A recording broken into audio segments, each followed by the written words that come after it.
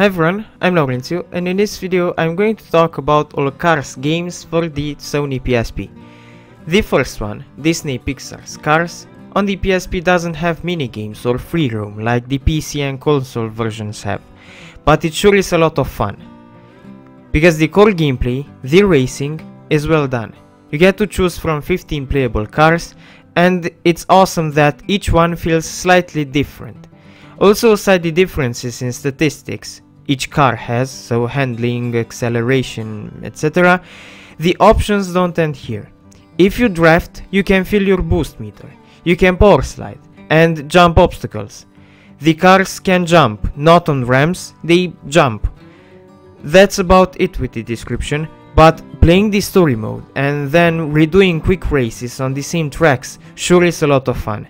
Due to the big production value of the game, it feels it it you can feel the quality whenever you play the game. Throughout the whole playthrough, you can feel that the game has quality.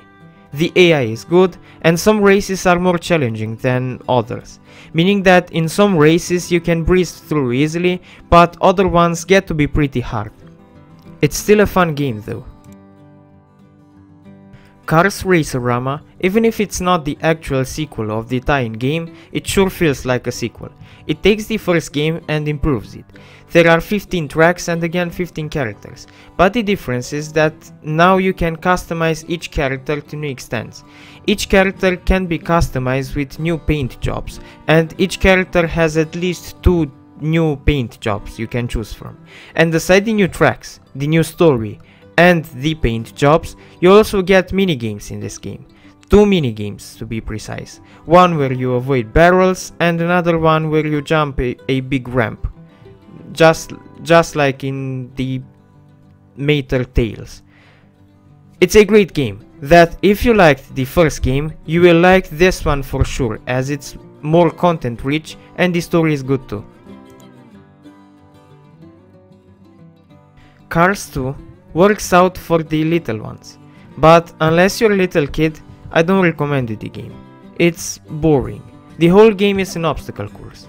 You drive and avoid stuff on the road, and aside of the avoiding you can jump and bump into opponents so that they don't get in front of you. You also get power-ups like Gatling guns or rockets attached to your car, or you can spill oil like you would leave a banana on the track in Mario Kart.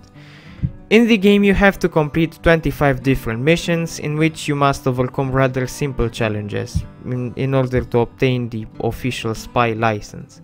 There are 16 different tracks and a good amount of cars, but I still found the game to be rather boring, even if it gets points for being unique.